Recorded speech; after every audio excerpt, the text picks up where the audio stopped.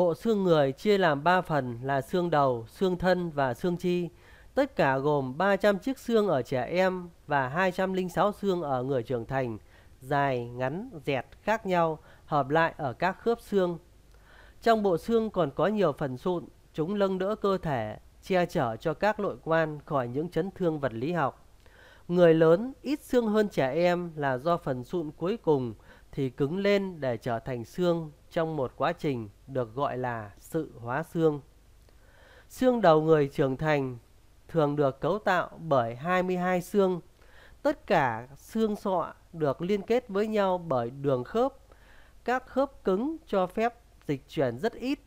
8 xương gồm xương chán, hai xương đỉnh, một xương chẩm, một xương bướm, hai xương thái dương và một xương sàng tạo thành phần sọ bao bọc não, bảo vệ vòm xung quanh não. 14 xương tạo thành hộp sọ tạng nâng đỡ bộ mặt đóng kín với xương thái dương là 6 xương tai nhỏ. Mặc dù các xương này không phải là một phần của sọ, xương móng nâng đỡ lưỡi thường được xem là một phần của sọ hay nó cũng không khớp với các xương khác. Sọ chứa chức năng bảo vệ não. Xương thân có cột sống gồm nhiều đốt sống khớp lại với nhau. Bốn chỗ công cùng với xương úc, xương sườn tạo thành lồng ngực. Xương chi gồm hai phần, xương chi trên hay còn gọi là xương tay và xương chi dưới gọi là xương chân. Xương tay có xương đai vai, xương cánh tay, xương trụ, xương quay, xương cổ tay, xương đốt bàn tay, xương đốt ngón tay. Xương chân có xương đai chậu, xương đùi, xương bánh chè, xương chày, xương mát, khối xương cổ chân, khối xương bàn chân và các đốt ngón.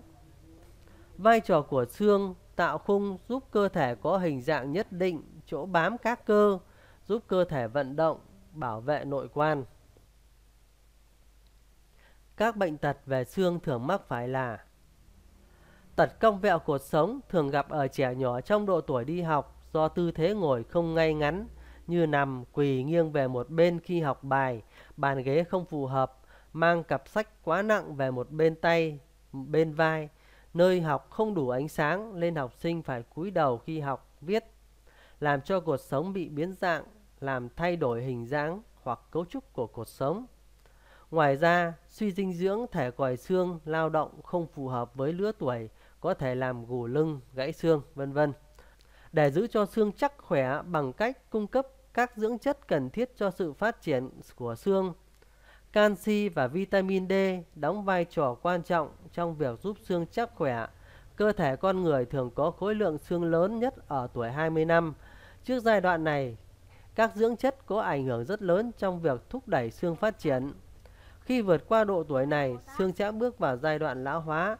Vitamin D sẽ giúp cơ thể hấp thụ tất cả các lượng canxi có trong thực phẩm và các chất bổ trợ. Trong khi canxi ngăn chặn sự sụt giảm khối lượng xương cũng như các bệnh về xương.